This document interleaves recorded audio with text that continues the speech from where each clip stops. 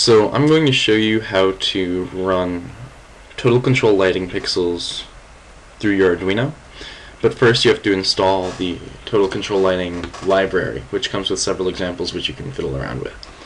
So the first thing that you do is you pull up your Arduino folders, and it's helpful to navigate to libraries. You'll notice that I already have the library in here. In order to get the library, you need to go to Google and type in Christopher DeVries TCL. The first thing that pops up is TCL, is his Bitbucket.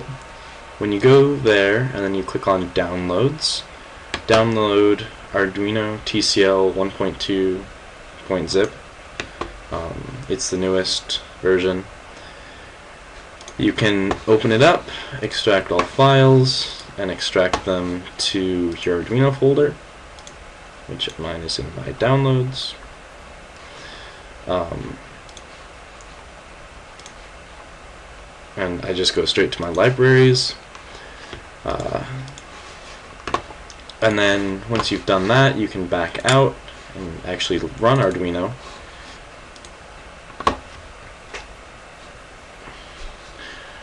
Then the example sketches are actually in examples. Oops. So just go to TCL, and my favorite is actually Blinky. And you'll notice that this was made by Christopher DeVries, DeVries, DeVries, and uh, it already has the include SPI and the include TCL. Now the SPI library is already built into the Arduino, so if you just download it from here, uh, it'll be there. Alright, that's all.